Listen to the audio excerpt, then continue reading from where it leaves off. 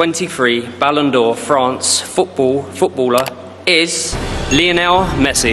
Bueno, buenas noches, muchas gracias. Eh, bueno, antes que nada. Lionel Messi berhasil menyabet trofi bola emas Ballon d'Or untuk ke-8 kalinya. Kapten timnas Argentina itu mengalahkan 29 nominator lainnya, termasuk Erling Haaland selaku rival terberatnya. Messi juga menumbangkan dua pemenang terdahulu yakni Luka Modric dan juga Karim Benzema. Gelar juara Piala Dunia 2022 menjadi poin penting yang membantu Lionel Messi memperoleh Ballon d'Or ke-8-nya. Pemenang ditentukan oleh voting yang dilakukan oleh 100 jurnalis dari negara penghuni 100 besar ranking FIFA.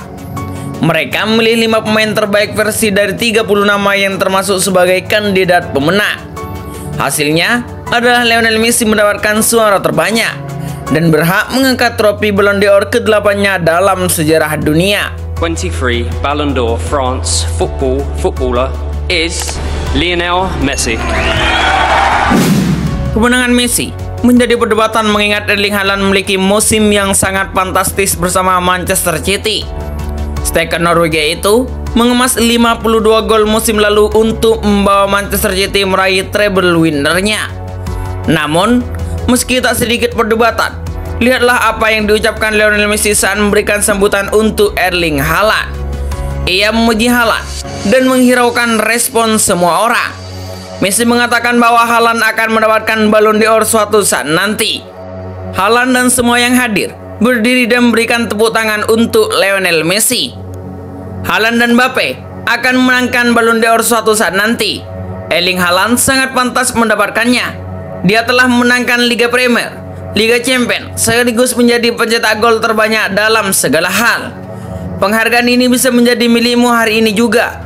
Meski saya yakin di tahun-tahun berikutnya kamu akan memenangkannya. Ucap Lionel Messi. Bueno, buenas noches, muchas gracias. Eh, bueno, antes que nada quiero quiero agradecer a, a toda la gente que, que, votó, que me hizo el, el ganador de este, de este, premio, obviamente compartir con, con mis compañeros de selección. Eh, una vez más este premio viene de la mano de, de, lo conseguido con la selección argentina. Hoy estamos acá, como dijo antes, el digo en representación de, de todo